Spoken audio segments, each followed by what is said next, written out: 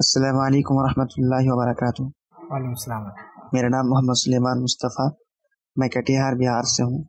शेख मोहतरम एक सवाल है कि हम लोग कुछ आदमी यहाँ पंजाब में काम करते हैं और यहाँ सिखों की ये इलाका है और वो लोग हर जमेरात को जो है लंगड़ बनाते हैं और सबको खिलाते हैं। लिहाजा उसमें जो है हमारे साथ जो कुछ लोग हैं ये लोग जाके खा लेते हैं खाना।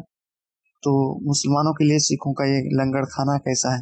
अल्लाम ये हमारे एक भाई साहब हैं, सुलेमान मुस्तफ़ा साहब। इनका सवाल ये है कि इनके इलाके में जुमेरात को सिख लोग लंगर खिलाते हैं, खाना खिलाते हैं। तो किसी मुसलमान का जाके वहाँ पे खाना खाना कैसा है? तो देखिए भाई साहब, आपने जो खाना खिलाने की बात की है, अगर सिख हजरात ऐसे ही खाना खिला रहे हैं, कोई उसकी मुनासिबत नहीं है। ऐसी खिदमत खल के तौर पर कुछ लोग होते हैं ना, खाना खिलाते हैं कि जिसको भी खाने की ज़रूरत हो, आके खाना खाए, ऐसे बहुत सारे लोग हैं। तो अगर इस वजह से खिलाते हैं तो कोई मसला नहीं है। लेकिन ये जो आपने ज़िक्र किया, पता नहीं क्या लंगर या क्या है तो बहुत सारे लोग तो ऐसे भी सिख हजरात खाना खिलाते हैं। है? कि कोई हादसा हो जाए, कहीं पे लोग जमा हो जाए तो वहाँ पे लोग सिख हजरात खाना खिलाते हैं। तो ऐसी जगहों पे तो उनके खाने में शिरकत में कोई मसला नहीं लेकिन आपके यहाँ जो हो रहा है, वो किस बुनियाद पर हो रहा है? क्या बैकग्राउंड है? वो आपने बताया नहीं। क्या उनके मज़हब से जुड़ी हुई बात है?